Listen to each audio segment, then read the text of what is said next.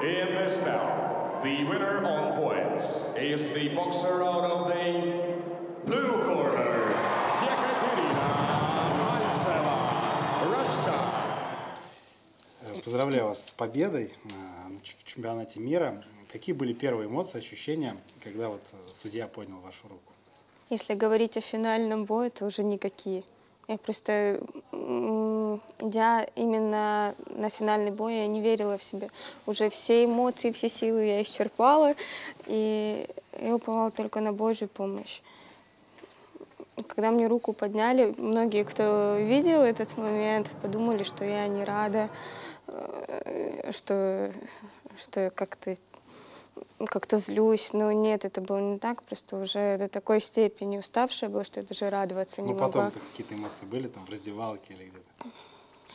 Спустя несколько дней я уже была в Москве здесь, э, тогда уже потихоньку я начала осознавать, что произошло.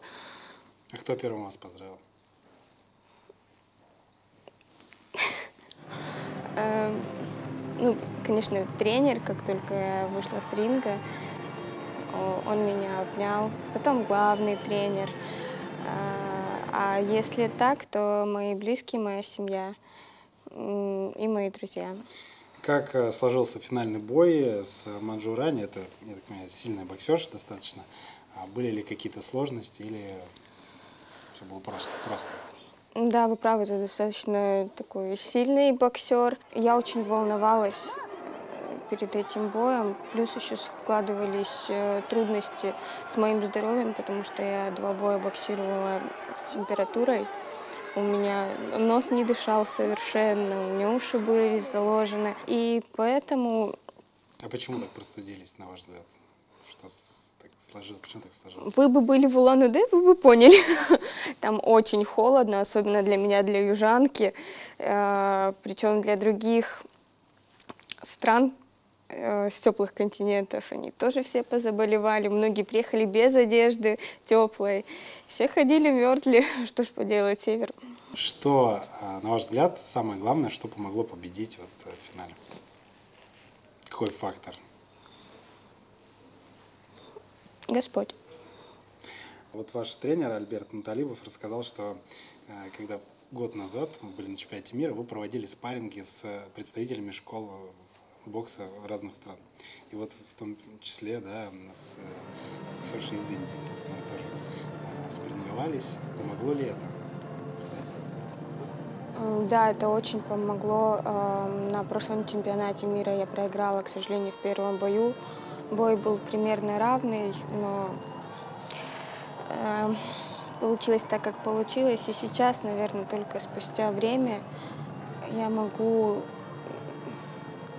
я могу сказать, что это положительную роль сыграло, потому что, во-первых, я себя внутренне подготовила к этому чемпионату мира, я стала сильнее, э, я стала более напористей. На прошлом мире я провела спарринги практически со всем, с кем можно было. А Я боксировала с Америкой на этом чемпионате мира. С Америкой у меня был первый бой. А Дальше я боксировала с Японией, которая стала на чемпионате мира прошлого года третий. Очень хорошо спарринг провела. Потом я боксировала с Алжиром, со всеми, с кем можно было. И также я боксировала с Индией. И, как правило, у каждой страны манера ведения боя похожа. Поэтому, да, мне помогло Вот ранее у нее какая манера? В чем особенность от европейских? А, Если, например, американки больше садятся на переднюю ногу и боксируют, как бы они стоячие, и очень не любят левшей, а я как раз-таки левша, а, то индусские, они, как правило, прямые, у них хорошие прямые, вот как раз-таки видели, она высокая, бьет хорошо прямые. Моя трудность заключалась в том, чтобы к ней подойти на свою дистанцию, на которой я смогу ударить. Для этого мне надо было ее раскачать корпусом, раскачать ногами, выдернуть. Вот вы сказали, что вы левша. А Это важно в боксе? С какой руки ты бьешь? Правой или левой? Я не могу сказать, важно это или нет, потому что эм, Сложность представляет? Вот, например, вы встречаетесь там с правшой или с левшой также. Есть ли разница? для левши сложно встречаться с левшой. Э, Но сейчас уже очень много левшей, поэтому мне все проще и проще становится. А, в первые годы практически на 20 человек на России я встречала ну, а, пару левшей и все. А сейчас э, половина. Многие в сборной России левши, и у мужчин также очень много левшей. Вот вы сказали, что простудились, была такая непростая ситуация в этом, с этим связана. Как удалось себя психологически настроить вот на, в таком состоянии? И у вас были какие-то мысли, что золотая медаль должна быть у меня? Вот такие были? Настрой такой? Э, нет, у меня не было мысли о золотой медали.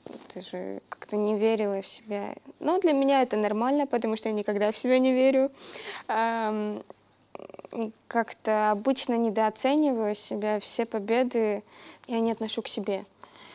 Я не отношу их даже к людям, потому что это Божья помощь. Господь мне посылает если про людей, то посылает мне людей, таких, которые мне помогают, которые мне нужны.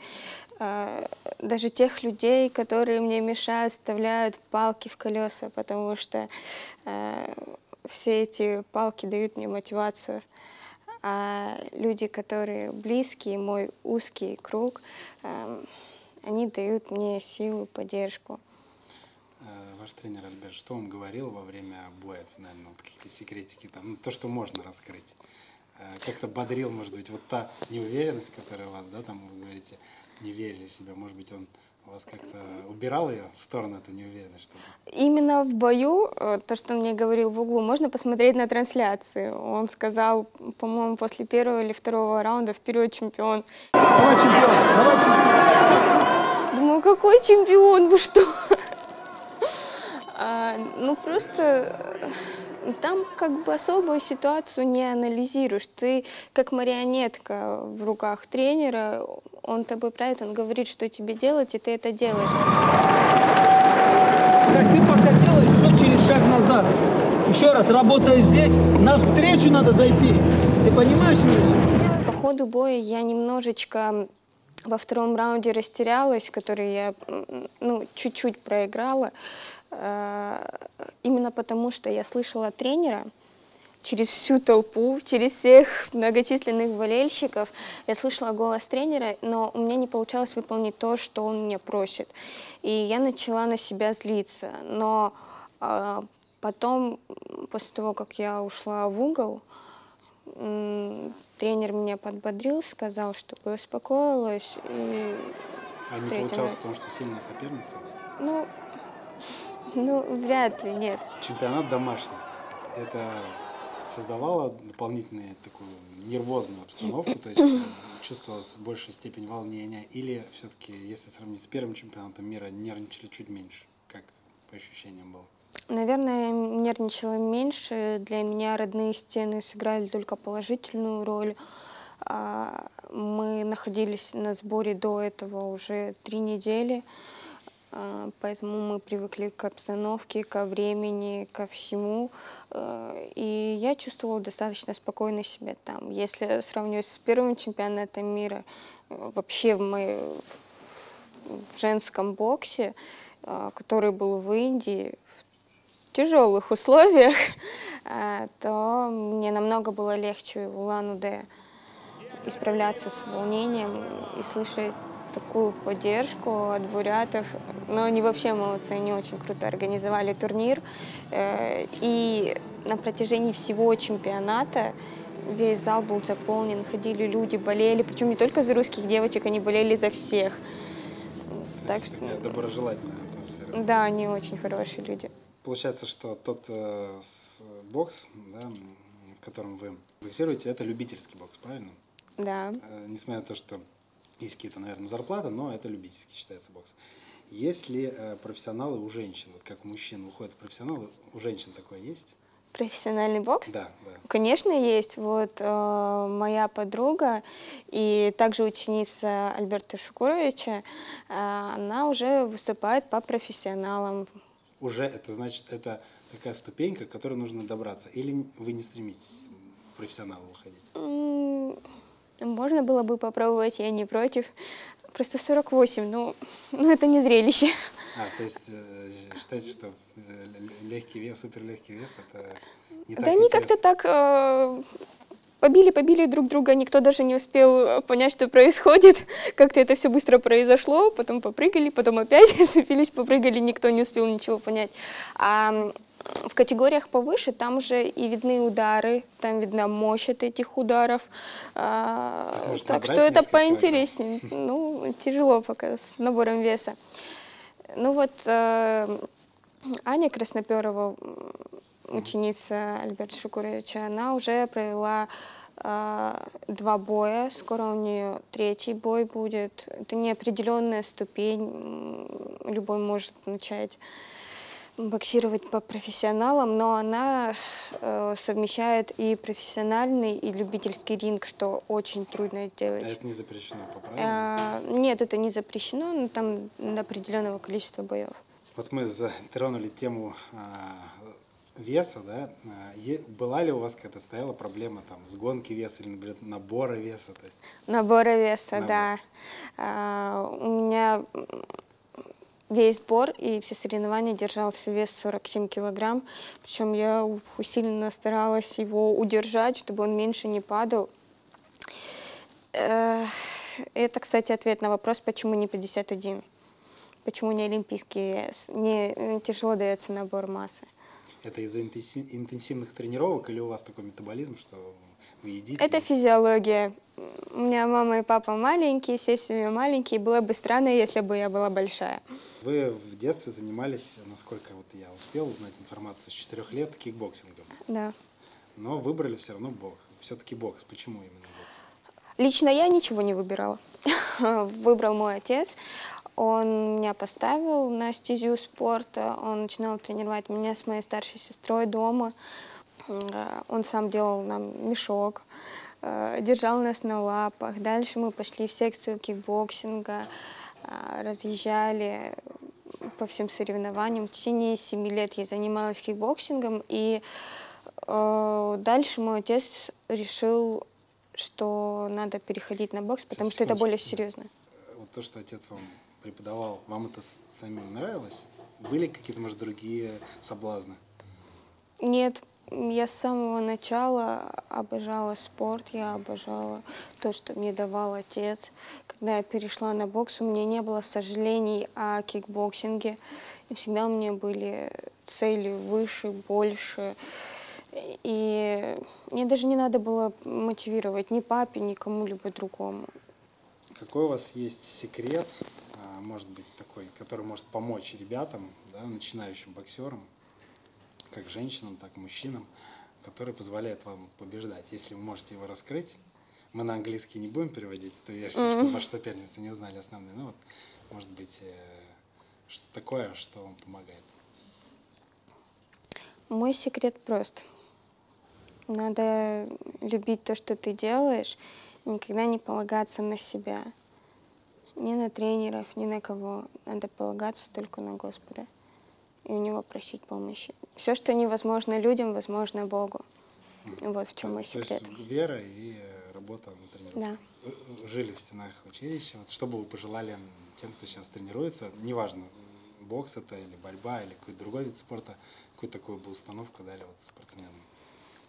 Я думаю, ко всему надо подходить грамотно с головой и э, не забывать спортсменам, не слепо идти за своей целью, не терять ее, конечно, из вида, но все-таки не забывать про свое здоровье.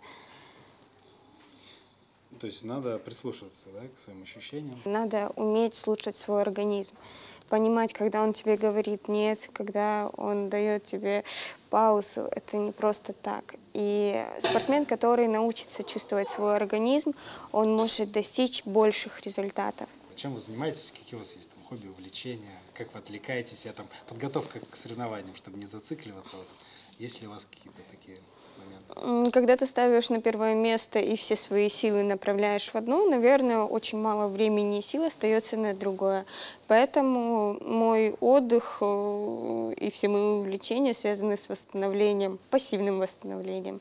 А, То есть это сон, чтение книг, а, либо Какие книги про- предпочитаете? я люблю классику. Классику. Э, ну, вот любимое у вас произведение. Наверное, человек, который смеется, Гюго. М, Что-то от- Дюма мне нравится еще. У него все произведения захватывающие. что-то, вот я иногда бывает посмотрю какой-то фильм, да, там Рокки, например, и потом меня немножко так расправляется э, осанка, да, то есть какая-то мотивация. Есть ли такое вот после прочтения книг у вас что-то такое вот загорается, какой-то интерес, что-то меняется в сознании? Именно от прочтения книг нет. а, Не загорается, просто после таких книг, особенно после Гюго, ты начинаешь думать, э, начинаешь разбирать, что, как, начинаешь ам, углубляться в историю, потому что затрагиваются исторические моменты, например, у, Пик, у Пикуля тоже сплошная история. А, и ты начинаешь просто больше изучать, Остается ли время на личную жизнь? Есть на общение с друзьями, там, может быть, молодым человеком, ну, вот, вот на это. Есть ли время у спортсмена профессионального? Да, но немного. Моя семья находится далеко, в Краснодарском крае. Их я вижу очень редко. Один-два раза в год могу туда поехать, и то там максимум две недели. А в остальное время я нахожусь в Москве, либо на сборах. Поэтому только телефон спасает.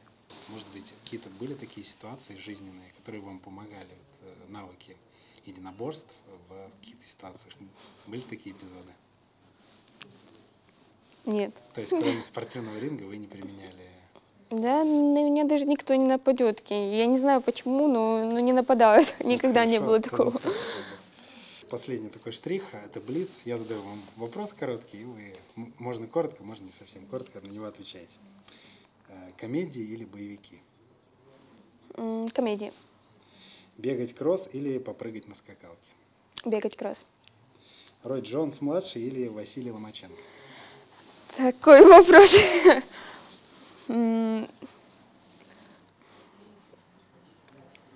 Ломаченко.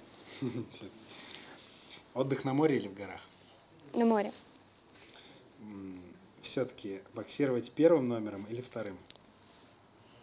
Что больше нравится? Да, и предпочитаете, или вторым активным, например. Вторым активным. И заключительный вопрос, Facebook или Instagram? Ничего. Не нравится. Не нравится, Лучше не затягивает, да. Спасибо большое. Вам спасибо.